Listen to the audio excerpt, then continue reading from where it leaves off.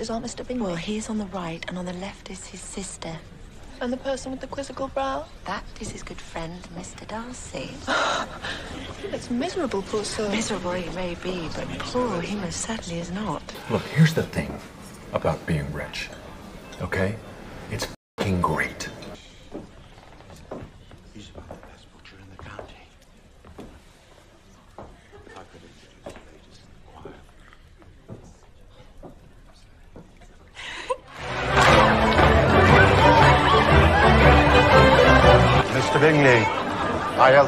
Daughter, you know. Mrs. Bennet, Miss Jane Bennet, Elizabeth, and Miss Mary Bennet. It is a pleasure. And may I introduce Mr. Darcy of Pemberley in Derbyshire.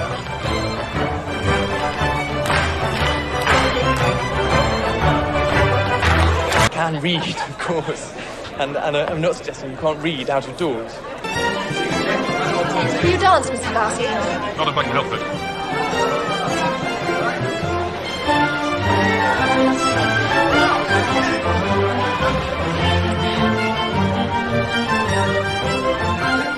You are dancing with the only handsome girl in the room. She is the most beautiful creature I have ever beheld. But her sister Elizabeth is very agreeable. Perfectly tolerable, I dare say. Not handsome enough to tempt me.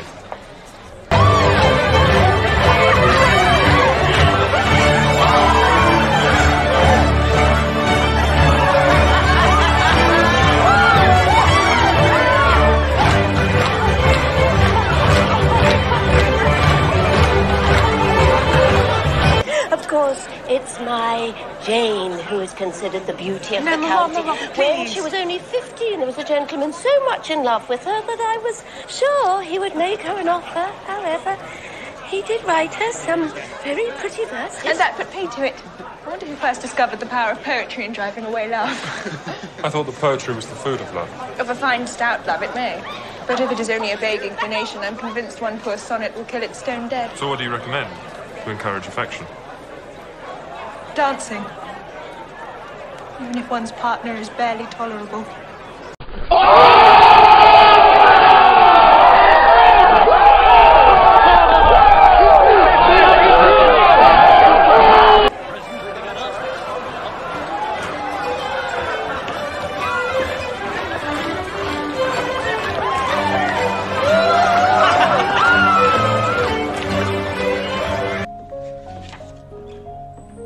Miss Elizabeth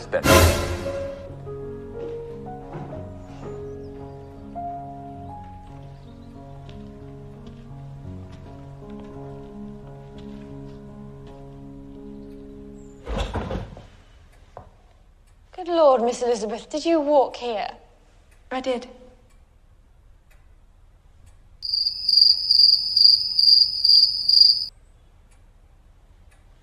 I'm so sorry. How is my sister? She's upstairs.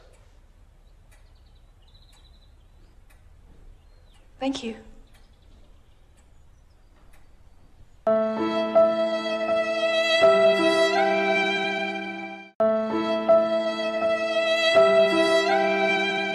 The word is indeed applied too liberally.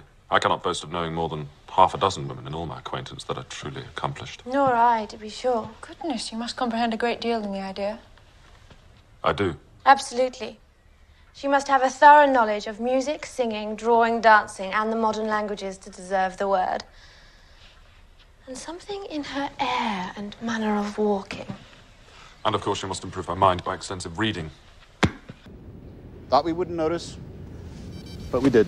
I'm no longer surprised at your knowing only six accomplished women. I rather want to know at your knowing any. Are you so severe on your own sex? I never saw such a woman. She would certainly be a fearsome thing to behold. Miss Elizabeth, let us take a turn about the room. You're too proud, Mr. Darcy. And would you consider pride a fault or a virtue? That I couldn't say. Because we're doing our best to find a fault in you. Maybe it's that I find it hard to forgive the follies and vices of others, or their offences against me.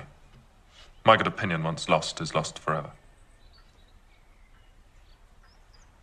Oh dear, I cannot tease you about that. What a shame, for I dearly love to laugh. A family trait, I think.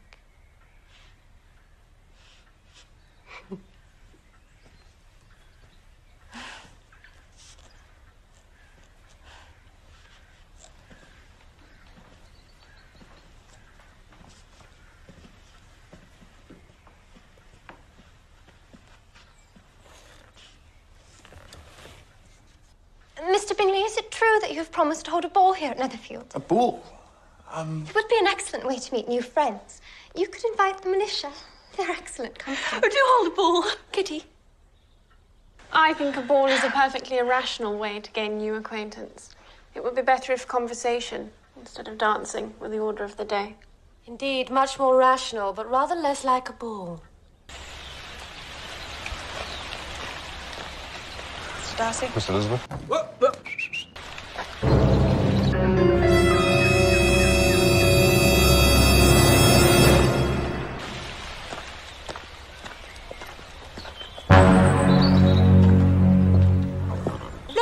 Mr. Bingley! Mr. Bingley! I was just on my way to your house. Mr. Bingley, how do you like my ribbons for your ball? Very beautiful. Be sure to invite Mr. Wickham. He is a credit to his profession. You can't invite people to other people's balls.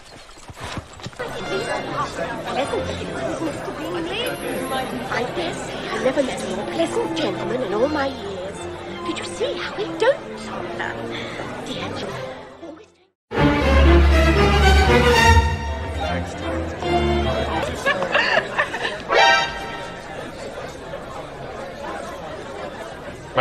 May I have the next dance, Miss Elizabeth? So what do you recommend to encourage affection?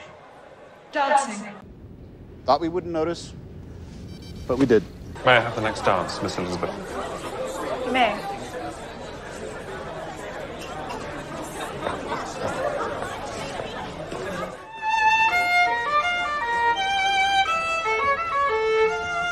It is your turn to say something, Mr. Darcy. I talked about the dance. Now you ought to remark on the size of the room or the number of couples. I'm perfectly happy to oblige. Please advise me of what you would like most to hear. That reply will do for present. Perhaps by and by I may observe that private balls are much pleasanter than public ones. For now we may remain silent.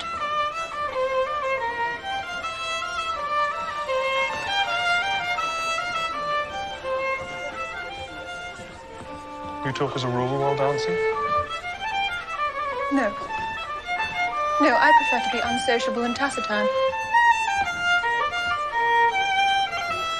Makes it all so much more enjoyable, don't you think?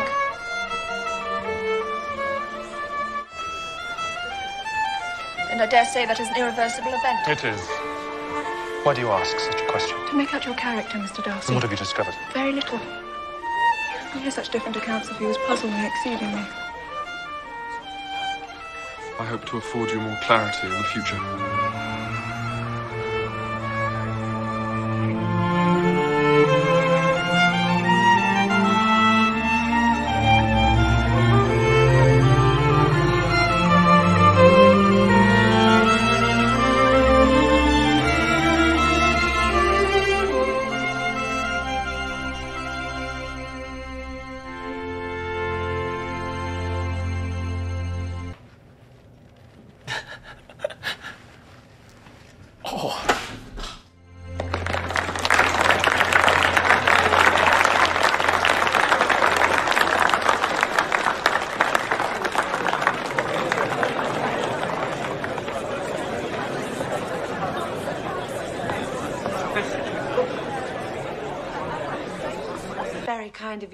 Of you to ask loan cost upwards of three hundred pounds. Hi.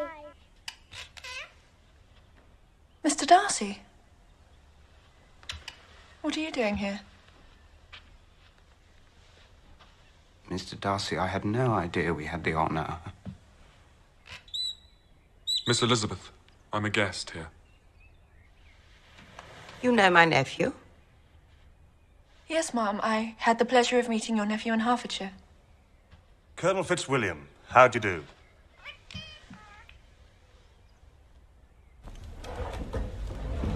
Mr. Collins, you can't sit next to your wife. Move. Over there.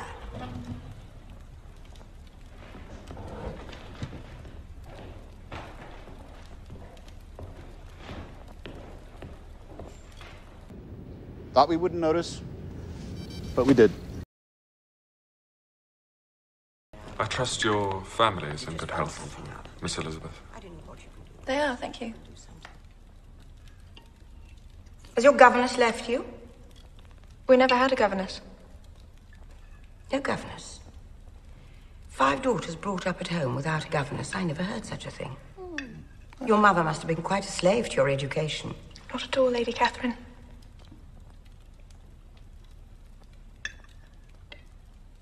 Your younger sisters, are they out in society? Yes, ma'am, all. All? Would all five out at once? Oh, that's very odd. And you only the second.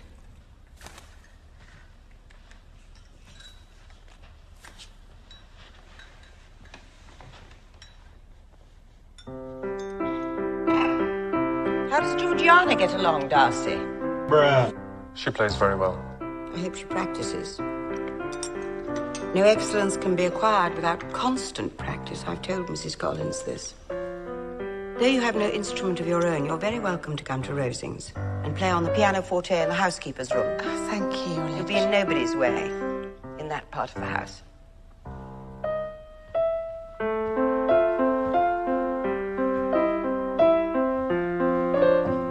You mean to frighten me, Mr. Darcy, by coming in all your state to hear me. But I won't be alarmed, even if your sister does play so well. I'm well enough acquainted with you, Miss Elizabeth, to know that I cannot alarm you, even should I wish it. What was my friend like in Hertfordshire? You really care to know? Prepare yourself for something very dreadful. The first time I saw him at the assembly, he danced with nobody at all. Even though gentlemen were scarce and there was more than one young lady sitting down without a partner. I knew nobody beyond my own party. Oh, and nobody can be introduced in a ballroom. Fitzwilliam, I need you.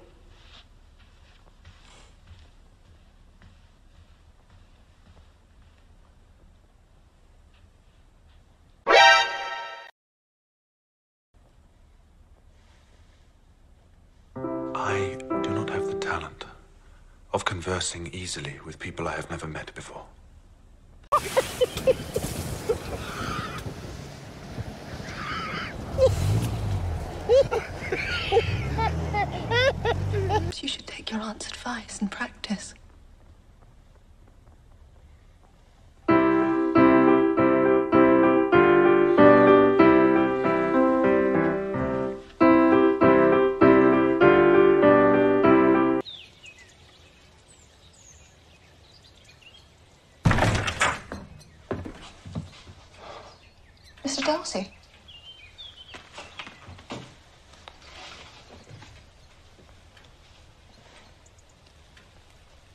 Please do be seated.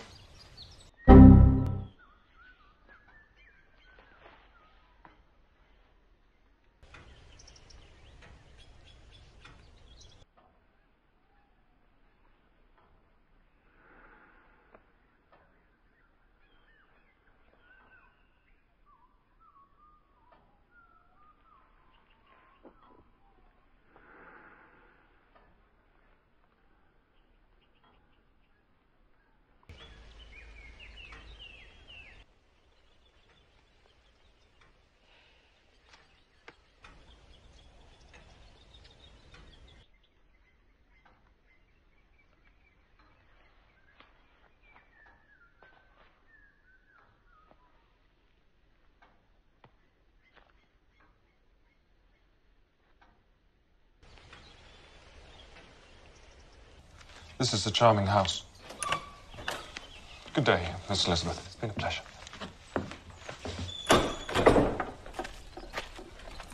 What on earth have you done to poor Mr. Darcy? Why are you the way that you are? His closest friend, Charles Bingley. I think it was a family that was considered unsuitable.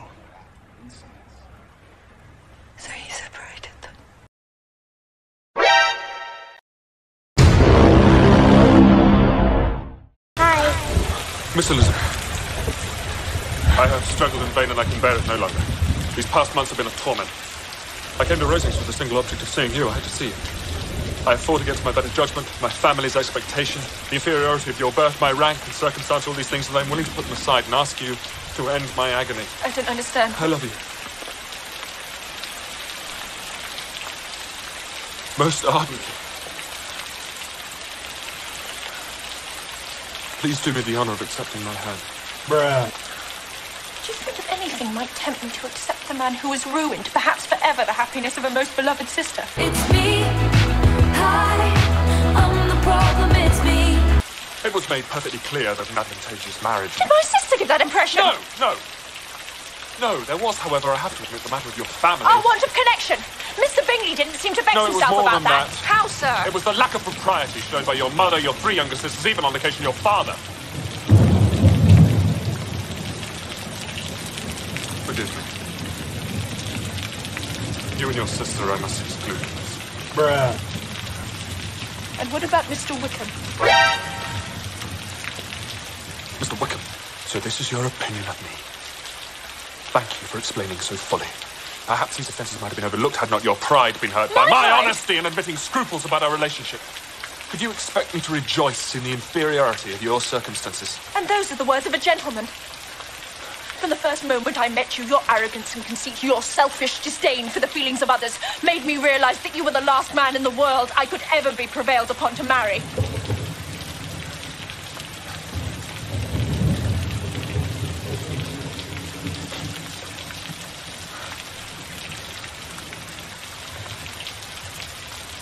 Forgive me, madam, for taking up so much of your time.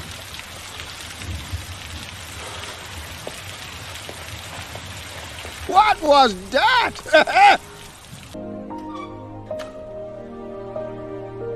Hello there.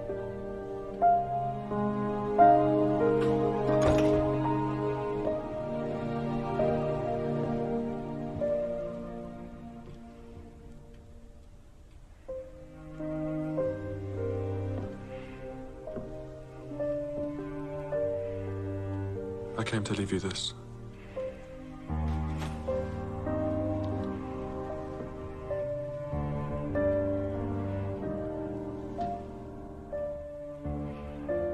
I shall not renew the sentiments which were so disgusting to you. But if I may, I will address the two offences you have laid against me.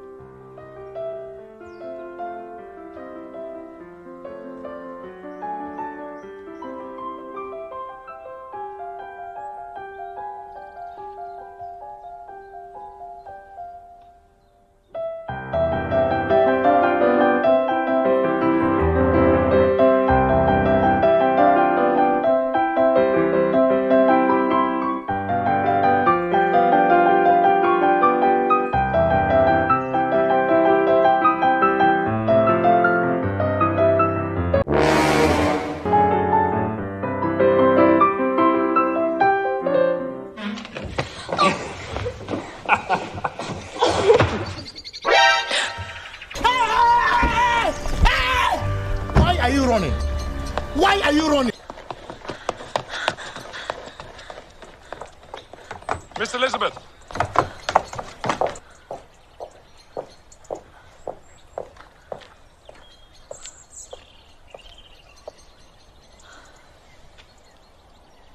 I thought you were in London. No. No, I'm not. Obviously. No. No, I We would not have come a day had we early, some business with my steward. Here.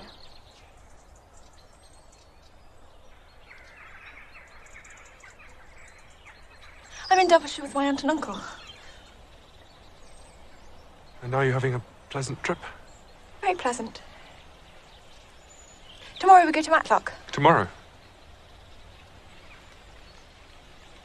Are you staying at Lambton? Yes, at the Rose and Crown. Yes.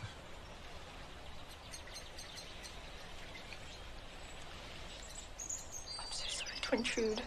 They said that the house was open for visitors. I had I had no idea. May I see you back to the village? No. I'm very fond of walking. Yes. Yes, I know.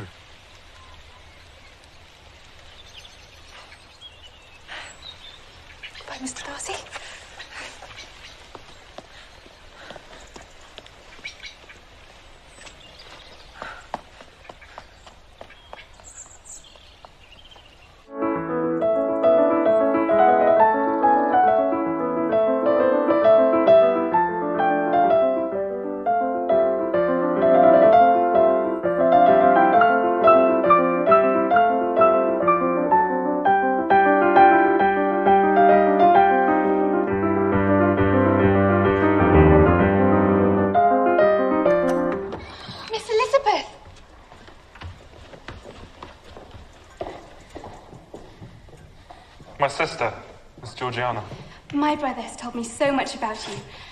I feel as if we are friends already. Can you stop? You. What a beautiful pianoforte. My brother gave it to me. He shouldn't have. Yes, I should. Oh, very well then. Easily persuaded, is she not?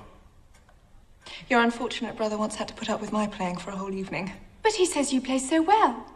Stop talking! Then he has perjured himself most profoundly.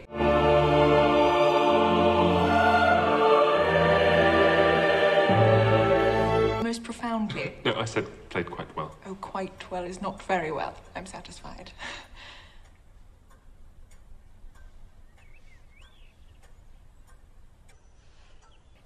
Do you play duets, Miss Elizabeth?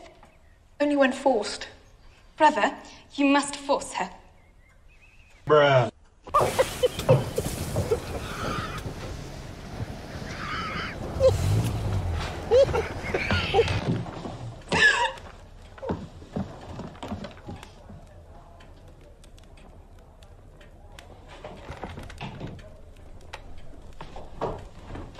Lydia has run away.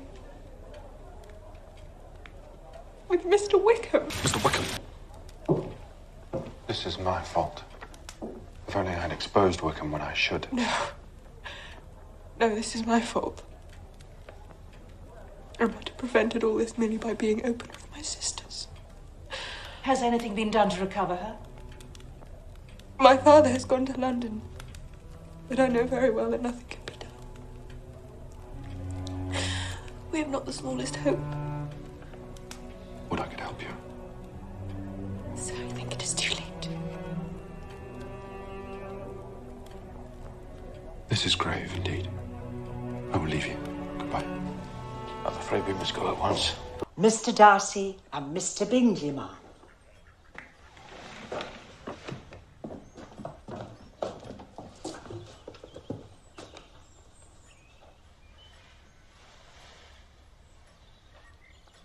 Very glad we are to see you, Mr. Bingley. There've been a great many changes since you went away. Miss Lucas is married and settled. And one of my own daughters, too. You will have seen it in the papers, though it was not put in as it ought to have been. Very short. Nothing about her family. Yes, yes, I did hear of it. I, I offer my congratulations. But it is very hard to have my Lydia taken away from me. Mr. Wickham has been transferred to Newcastle, wherever that is. I beg you will come here and shoot as many as you please. Thank you. Mr. Bennet will be vastly happy to oblige you, and will save all the best of the coveys for you. Excellent. Are you well, Mr. Darcy? Quite well. Thank you. I hope that the weather stays fine for your sport. I return to town tomorrow. So soon. My Jane looks well. Does she not? Does indeed.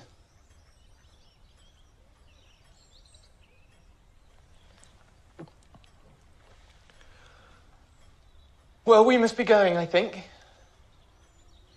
Darcy, it's been very pleasant to see you all again. Miss Elizabeth, Miss Bennet. You must come again. For when you were in town last winter, you promised to have a family dinner with us. I've not forgot, you see. At least three courses. Bruh. Excuse me. Miss Bennet. Mr. Bingley. I go- I.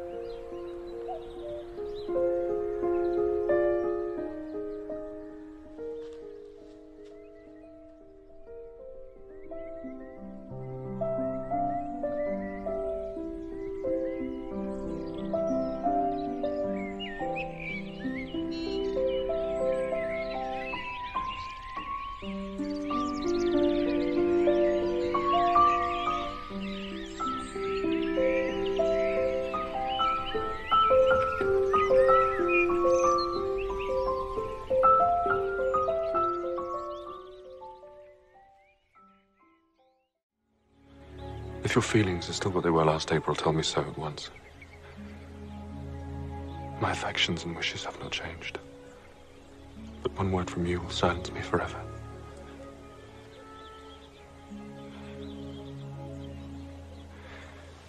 If, however, your feelings have changed, I would have to tell you. You have bewitched me, body and soul, and I love, and love, and love you. I never wish to be parted from you from this day on.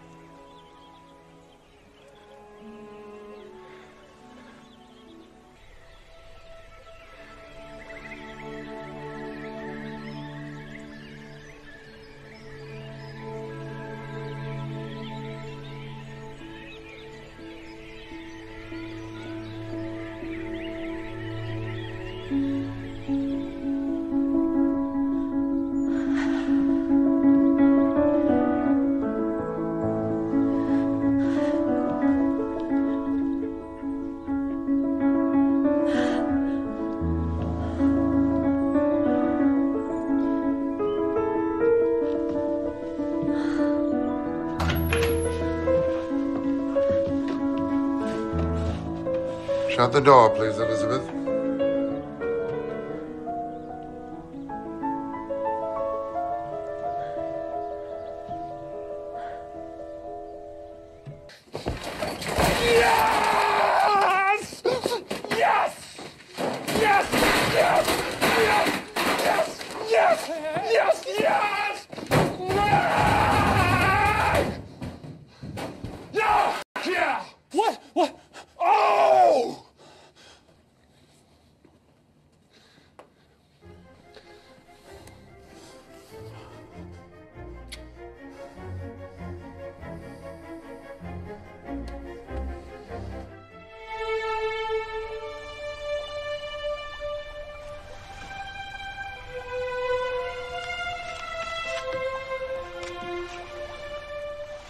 How are you this evening, my dear?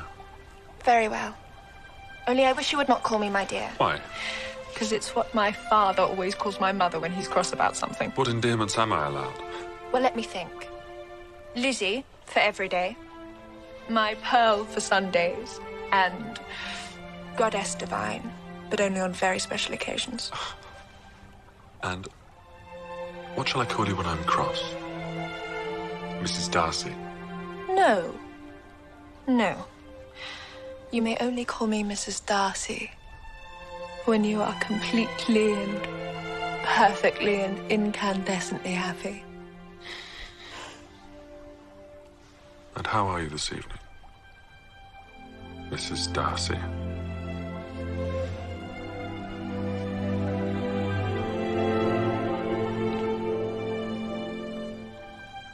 Mrs. Darcy.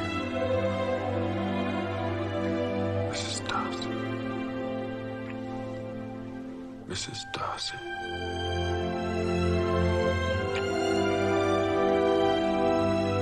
Mrs. Darcy.